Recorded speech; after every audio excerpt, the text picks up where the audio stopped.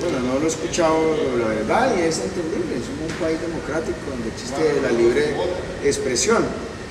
Lo que sí vemos nosotros con preocupación es que hay mucho inmediatismo. Digamos que usted dice, vamos a crear una empresa de transporte. Y la gente, ¿y dónde está? Ahí no la veo, ahí no veo los buses. Y, o sea, nada de la noche a la mañana, todo tiene su proceso.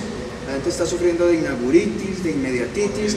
Entonces, todo proyecto que plantea el Estado quieren verlo hecho ya y eso toma su tiempo, su desarrollo, sus inversiones, pero hay que proyectar, hay que diseñar, hay que generar bases, hay que ir avanzando. Por ejemplo, ayer se colgó la licitación para el estudio de factibilidad, factibilidad quiere decir que ya queda listo para contratar la inversión y hacer la, y hacer la obra, se, colgó la licitación para contratar la factibilidad del cable aéreo para los barrios del sur.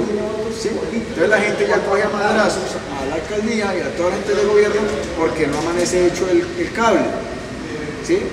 Creen que ya se ha hecho, eso debe tener un proceso, que es la factibilidad, luego la construcción de la obra y la construcción de la obra también toma su tiempo.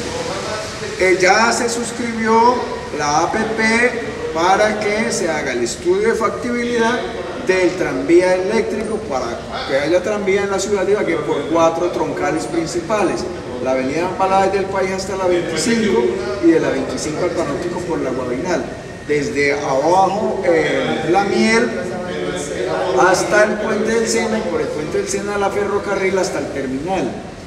Desde la vara del Salado hasta la quinta con 42 y quinta arriba hasta la 10.